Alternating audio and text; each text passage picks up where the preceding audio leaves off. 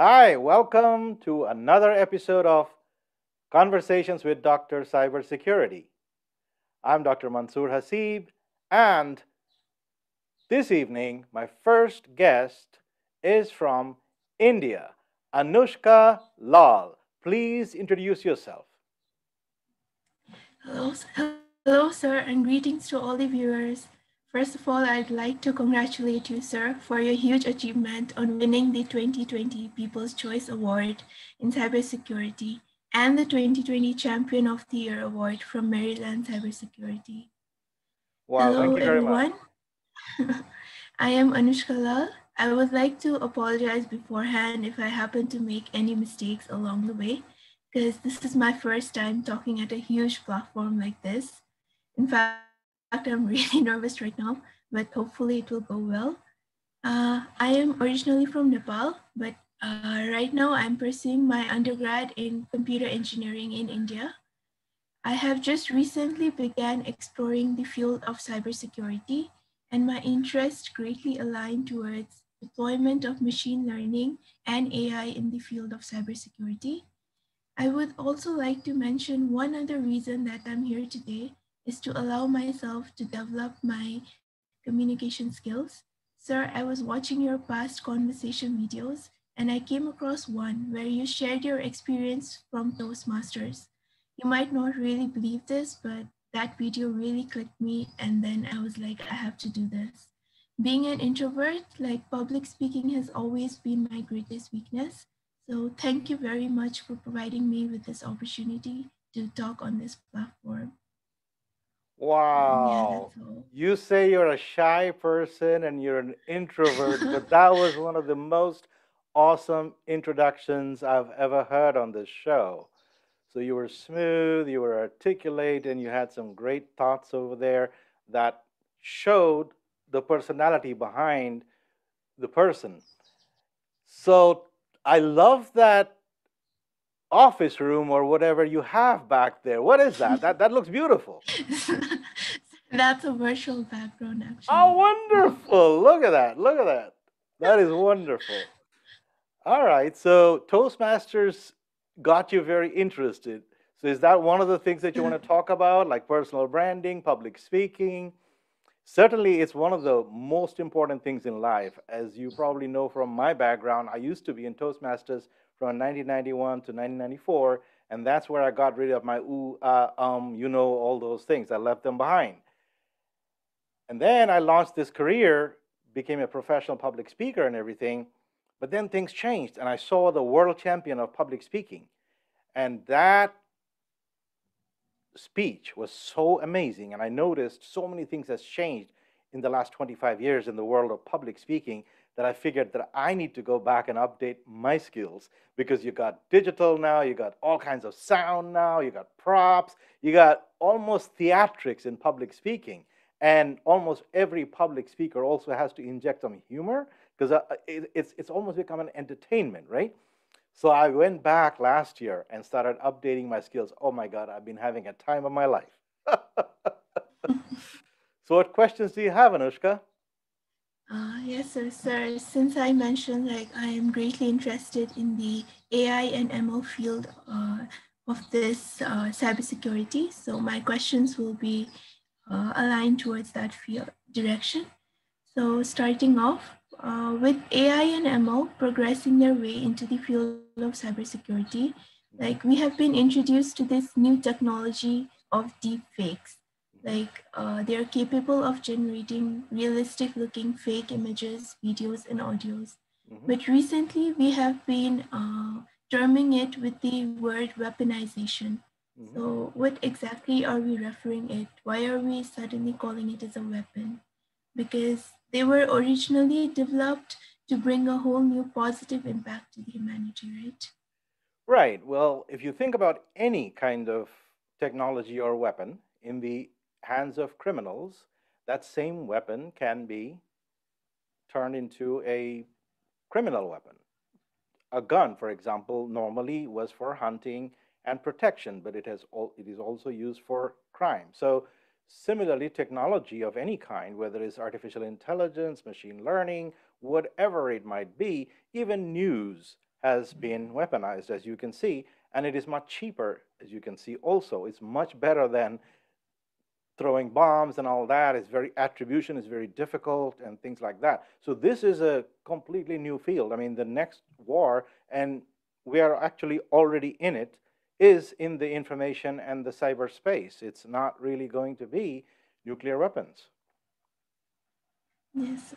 So, sir, like um, considering the scale of today's online platforms, don't you think like social media platforms should step up to prevent against this? Yes, absolutely, because they should be viewing themselves as media. They're the modern media. So, for example, the traditional media platforms, the newspapers, whatever they were, used to have journalistic standards.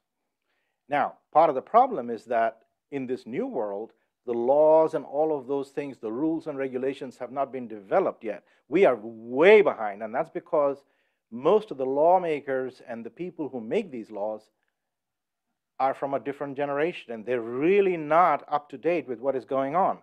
And the other thing that has happened is that in the past, as the executives changed or the lawmakers changed, technology's pace of change was slower. Right now is geometric. So that's a big problem. And you can see, I mean, we, we go see that many of the people that are in positions of power today, when you talk to them about anything related to digital, they really don't understand it. And the typical executive preparation programs do not deal with them. So that's another serious problem, which is part of the reason that, that you keep people like, that you keep seeing people like me passionately talk about that the need to update education. That was part of the reason that I came to academia, because academia is seriously broken. Many of the MBA programs have not been updated in the last 40 years. That is almost criminal. So, sir, like, don't we need to prepare ourselves for these laws because as technology progresses, like these problems can get serious over time. Not necessarily laws. So there are technical solutions. As you can see, Facebook, Twitter already has started to flag things, right? This is one of the things that I was talking with my students even as back as 2013, 2014, when I first started teaching, because I told them this is the wave that's going to come. There will be lots of fake news and deep fakes and all these things. And then the very people who are producing the fake news is actually going to deflect and say, oh, the, all the truth news are the fake news and things like that. So we needed, we needed vetting mechanisms so that something that is truly fake is immediately stamped fake by some authority. If the if the journalism, if the media people themselves are not going to do it, so, for example, if Facebook themselves are not going to do it, well, then somebody else has to do this. For example, the reputational newspapers. I'm sure you have them in India. I know we have them here. Some of the very, very reputational ones are so fanatic about making sure that they are vetting every story, that they're verifying all the sources and two, three types of verifications before they will publish everything. And then when an incorrect story or a bad story has been published, sometimes people have been, what do you call, held, held accountable and they've lost jobs and things like that. Well, that also needs to start happening in the new media because nowadays, platforms like LinkedIn, Facebook, Twitter, all of these things have become micro learning, micro platforms for news. And so when people are sharing, resharing fake stuff or incorrect stuff, they absolutely need to be flagged. And if the people are not flagging it, then people like you. The, the, these are all business opportunities as far as I can tell. That is what I encourage the, the students, the researchers to, to do this. Um, so you should look at it as a business opportunity. uh, yes, sir. Sir, lastly, I would like to ask some personal career counseling questions. Okay, absolutely. If you allow me to. Absolutely. Yes, Any question is fine. Uh, um, as a computer science student, like what do you think is my scope in this field? Or if I were to like pursue masters in cybersecurity or information security, how would you suggest I prepare myself for this transition? Like as a because in the field of computer science, it's mostly about just coding. So if I were to transition to cybersecurity, how would you uh, suggest? Well, very first thing I would recommend is in India, my book, Cybersecurity Leadership, is right now available for 49 rupees, the ebook.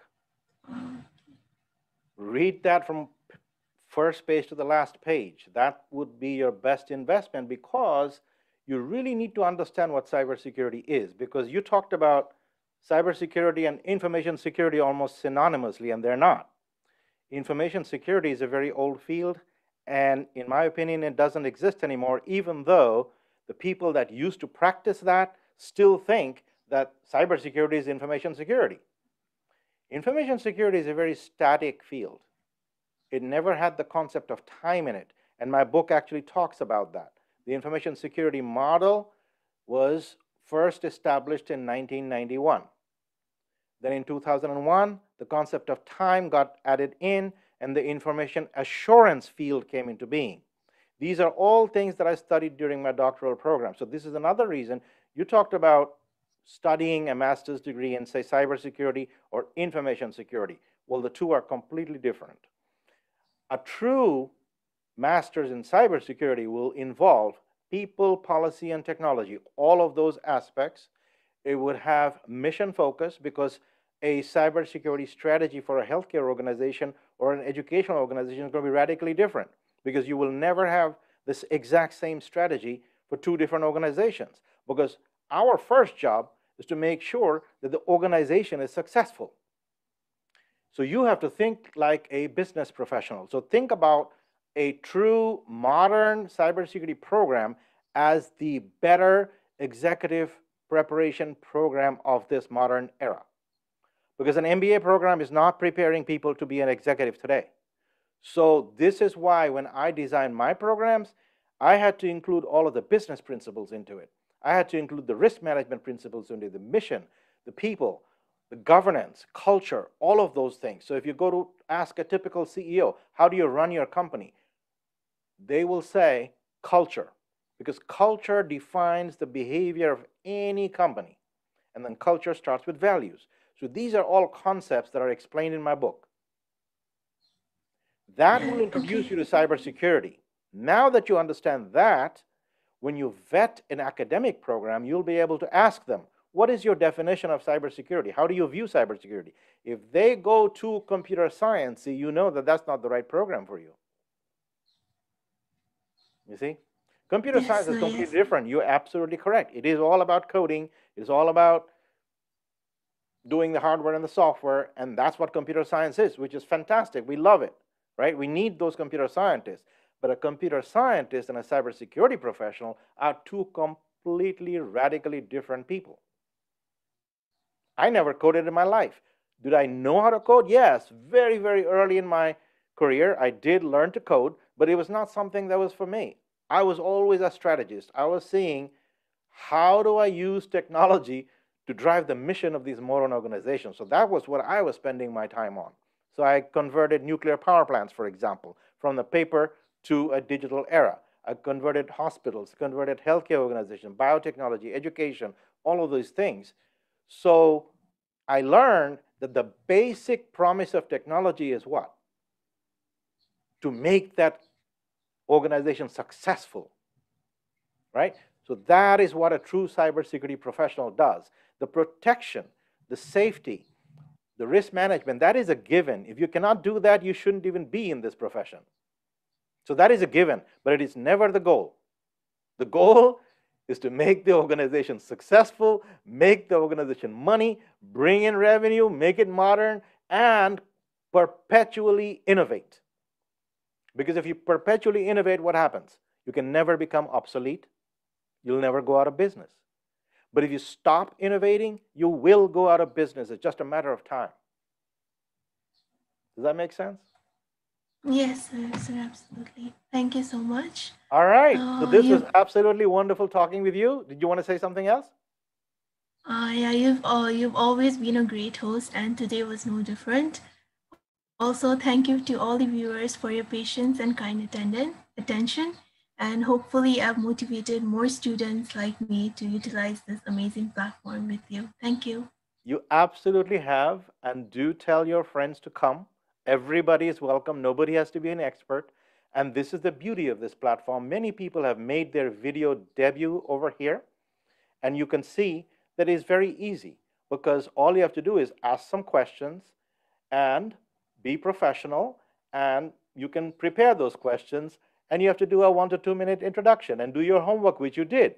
You watched the videos, you did a great job. So I really appreciate having talked with you, Anushka. I know you're going to have a terrific career and do come back some other time and do follow my work. I appreciate that. Thank you very much. And now Thank I you. am going to bring in my next guest, Brian Abercrombie. Brian, please introduce yourself. How are you? Uh, Mansur, thank you for inviting me to participate in the conversation this evening. Um, so far, this has been great stuff. Anushka, nice job. Some of the things that uh, you were chatting about with the kind doctor really resonate with uh, with me, and uh, this was completely unplanned. But some of my dialogue and some of the questions I have are going to parallel off of that. So um, yeah, more to come. But again, my name is Brian Abercrombie. I'm located in Pittsburgh, Pennsylvania.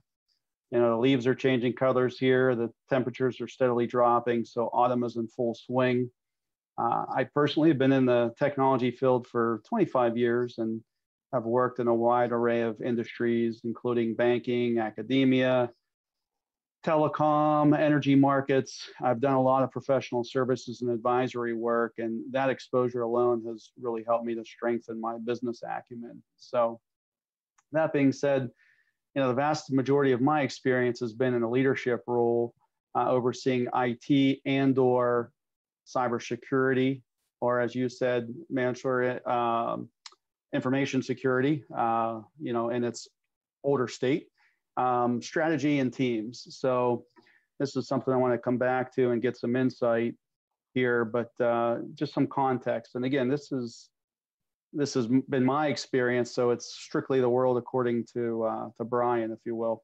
Mhm. Um, so there was a time, at least in my experience, again, where infosec uh, in an organization wasn't a real focus or discipline. Mhm. Um, it was maybe recognized, maybe not. If anything, it was it was a function within IT, and uh, I can remember being in a role where you know it didn't even really have um, real responsibilities defined. They were just kind of assumed or behind the scenes uh, Mhm. security duties. And uh, Yeah. I think I think many organizations still function this way. Um, They do. Seems un, seems unlikely, um, but that leads me to to a question. You know, I just wanted to get some insight. You know, I got some data points out there. I've done some research, but you know, from a practical standpoint, um, are are there organizations still out there that don't have formal roles and responsibilities specifically focused on cybersecurity? Uh, professional companies, you know, that that are in some sort of um, professional services business, some you know manufacturing. Uh, you know, I open it up to the group, but wanted to get some insight, uh, of course, in your travels and conversations. Um, Mansur, I'd like to to hear what you had to say on that. Sure. No, that was wo- wonderful. So thank you for that introduction, Brian. I love your background too. Is that is that the city that you're in? Yeah, city of Pittsburgh. That's uh, you know uh, doesn't look like that right now, but um, Beautiful. uh, Beautiful. No, so okay, so you were you you wanted to know what is the landscape out there? Are there companies that are doing it right and companies doing it the old way and have Yeah. evolved or something like that, right? or is it just still an unrecognized or uh, how many companies out there are still you know doing something around cybersecurity if they haven't done something in a reactive mode right now but it's it's it's we'll call it unofficial off the books it's it's you know kind of a suppressed job role that's not really you know it's just somebody's add-on duties if you will Right. So my recommendation is always before you study. So this is one of the things I make my students do. I ask students to first look at the org chart of an organization. If the org chart of the organization says that the chief information officer or that whole IT side reports to the chief financial officer, chances are it's not being done right. Mm-hmm. But if they are reporting to the chief executive officer, chances are they do view information technology, information, digital strategy as a strategic asset so that it goes all the way to the CEO level because it is they view it as a mission driver. The companies that don't view it as a mission driver, chances are very high they're not doing it right. At least that's what my research showed. See, I was one of the few people that actually did a doctoral study where I did a national study of US healthcare organizations. And what I found there was that 50% had that whole area report to the chief financial officer. And that's when I realized, ah, now it makes sense. And the organizations that where the CFO is in charge and the organization where the CEO is in charge are dramatically different. Yeah. And in many organizations, you will also see the CEO is a former CFO. That is another deadly type of organization because that also means that these people are only interested in making money games, budget manipulations, and things like that, and they don't really understand. So I cannot imagine, for example, a typical MBA just with a finance background running, say, an energy company. As a matter of fact, I saw that and a person like that actually destroyed an energy company. Because what I'm used to seeing are people who live and breathe energy running energy companies. Just like I would expect, expect a healthcare professional to be running a healthcare company. If I see, say, a typical CFO type running a healthcare company, that would give me the creepies. You see, so this is the problem. What has happened is we have generic CEOs, generic CFO types running massive companies today. These are the people that also brought in the layoff culture because they don't understand that people actually always produce more than what we pay them. So people are never an expense. But these people in the accounting system, they have learned that people are the biggest expense in any company. That's what they're taught. That's what they've learned. So therefore, they only look at people as a cost center.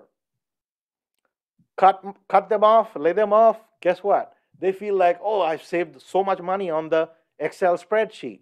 But they forgot that the revenue that that person was producing is not reflected in the spreadsheet. That accounting system is from the 1500s.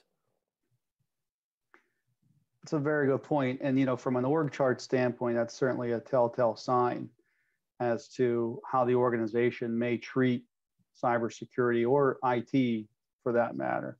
Yes. Um, you know, one of the things I've seen on both sides of the, the table, you know, being internal to an organization as well as um, being pulled into some uh, advisory services and professional services work is that what is the catalyst for why you do why you make some investment in cybersecurity?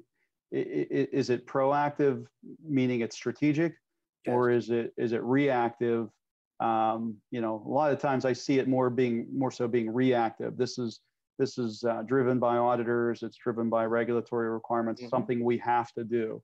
Right. Um, not necessarily something we want to do or would do if we you weren't forced to do so. So you you were already kind of coming at it from a from a negative approach. Yep. Uh, versus treating it as um, you know strategic to the organization, treating it as a potential competitive advantage, or taking the approach that it's the right thing to do in this in this. Not even right thing. It's perpetual innovation. So one of the things that if you read my work, I have basically simplified it in one sentence. I basically say cybersecurity is people powered perpetual innovation. And I stress that people part because it's the people that do the innovation, you see. Yes, there's, there's a whole bunch model behind it and everything, but this is the simplest explanation I've given people because I want them to focus on the innovation. And once they focus on the innovation, guess what? It becomes a revenue driver. And that's the way we need to view this discipline. I always practiced it that way. Yeah.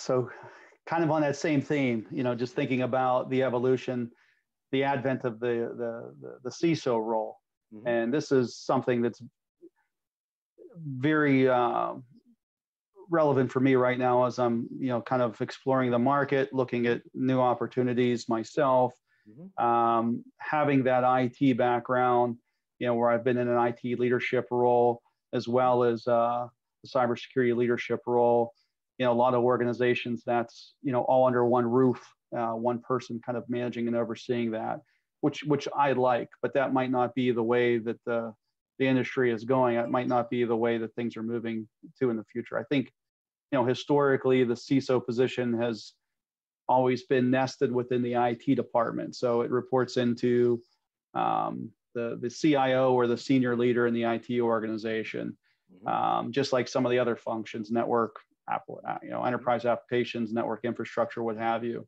Mm-hmm. And um, I think that you know that that certainly has pros and cons, right? I mean, there's there's there's good and bad with that, but but I'm seeing a trend now where there's a focus and a shift to decouple that relationship and have that uh, report outside of the IT organization. Um, so you know, kind of thoughts on that. Maybe we could spend some time, you know, chatting about that a little bit. Some of the things that I've seen and observed, and um, you know, what may make sense. I know the short answer is it is it depends, but uh, uh, you know, I've definitely seen the role uh, report into, you know, the board, uh, potentially the CFO, uh, another risk function within within the organization. Um, so thoughts on that? Yeah, thoughts is that a lot depends on the person. Because at the at the outset these executive roles are business roles. They must understand the business. They must mm-hmm. understand that vertical that they're in. Because a healthcare CISO or a digital strategist in a healthcare organization is going to be dramatically different than that same strategies in education. Now, can you transition? You absolutely can because it takes time. I've done it. So, to give you an example, I used to be a CIO in education and biotechnology. From there, I transitioned to healthcare, but I did that transition with a strategic objective because I noticed that in 2010, around that time, the massive digitization of healthcare was about to happen because the Affordable Care Act was happening in, in the United States. Also, health information exchanges were being built in various states, and particularly in the state where I'm a resident, in the state of Maryland, there is a robust health information exchange as well as a very robust health insurance exchange. All of these things were happening. The hospitals were getting connected. In some states like Delaware, every hospital is connected. 90, more than 90% of the healthcare providers in, say, the state of Delaware is connected via this health information exchange. So they're actually using digital to improve the quality of healthcare and also reduce the cost. For example, Delaware, they actually reduce the cost of many of the providers and made it one fifth through this digitization, which I knew was going to happen. So I spent a lot of time understanding what was happening in that space, and I became conversant in it. So I think in your case, if you want to transition first, I wouldn't look at the role first. I would look at the sector which you are passionate about. What is the sector that you feel that is coming where you would enjoy working because it's that ultimate mission that you want to guide yourself? Not right. the CISO role necessarily, CIO role or everything, but where does Brian want to make a difference in this space? You see? So I enjoyed that part. And that is why, even in this cybersecurity leadership book, half of the book deals with that healthcare sector, which I was so excited about. I, I, I agree with you on that point. And, you know, some of the things that have come up with my conversations and, and, and meetings with various companies um, on looking at these roles that are focused on, you know, IT and or information security mm-hmm. is, um, you know, at times I sometimes feel that, you know, having that broad background in both, regardless of the sector, it, it, it can be a detriment. But what I'm finding out is it's not so much a detriment that I should take stock in and, and kind of, you know, pivot or, or, or reevaluate my, you know, career trajectory. I, I, think it really comes down to the culture, even though you're looking at the, at the industry, but it's also the culture because, you know, I've, I've looked at certain industries and had some opportunities to get a foot in the door where there was, you know, something ripe for disruption, mm-hmm. uh, where technology and uh, cybersecurity could be extremely strategic to the mm-hmm. to the role and to the organization. Mm-hmm. But I I couldn't get past uh, the gatekeeper, if you will, in the organization that wanted to compartmentalize it into we really need somebody that's focused on you know xyz risk management cybersecurity and you have that but you also have a cto background uh, it leadership background so it's it's too broad we need somebody who's a little bit more focused and I, I you, you may I, be mentally not there. So you may be mentally above that, you see? And, yeah. and so the people that were interviewing you, maybe you need to be in those kinds of roles. And to, to get there, what you would need to be able to do is understand the business. This is why I'm talking about the sector. See, if you can get to network with CEOs, you need to be attending conferences in the sector where you want to be working in. So, in order to break into the healthcare sector, I actually visited a lot of healthcare conferences. I met with a lot of healthcare CIOs, CISOs, and I learned the language. So, when I interviewed for the head of a healthcare organization, I was able to understand what are the things that would trigger things. So, I knew, and, and very simply, because I was talking to a CEO type with an MBA. So I and and an MD. So I basically, when she asked me why, why should she hire me, and I basically said, I'm going to help her make healthcare affordable and accessible. That's it. Those two things. My entire conversation was about making healthcare affordable and accessible because I knew those were the words that would resonate with her, and it did. Right. Because that's how because as CEO, that's how they will be thinking. So you need to be preparing yourself for those CEO types of interviews. And many of these interviews are going to happen through networking and stuff like that. Many of these jobs are never advertised. Yeah, that's what I'm that's what I'm learning. Uh, so, you know, it's that is the full-time job that it becomes is just uh, quite frankly doing stuff like this, networking. That's how you and I uh, reconnected. I was giving that some thought you know, um, it took me a, a, little bit, you know, to to kind of recall. Uh, you and I met many moons ago at a mm. EDUCAUSE conference. And, ah, uh, that's where it was. Okay. In the uh, in in the Inner Harbor there in uh, Baltimore. Um, uh, yeah, I really missed those conferences. Was that 2005 or so? Because that was my first time I think I ever gave a presentation on like a layered information security architecture or something. That was it. And that was it. My God, that's amazing. and and we were, you know, and I was in a role where, you know, I kind of I spoke to that a little bit where I was in a role where I was responsible for was in academia. I was responsible for systems engineering and other things. And then uh, as a bolt on, I was responsible for security as well. So, um, I was trying to figure out, well, well how do we approach this?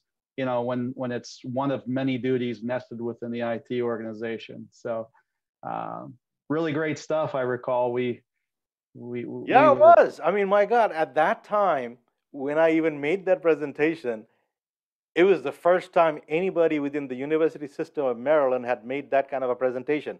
Even some of the big universities didn't have that. And I was actually one of the one of the smaller universities.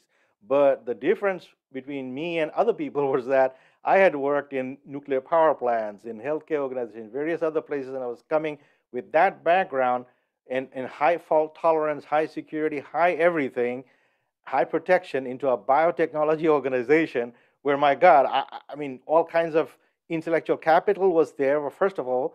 And second of all, this was global because the Biotechnology Institute had four locations in two different cities. Plus, they were collaborating with collaborators all over the world. So right. it wasn't like I had a perimeter or anything like that.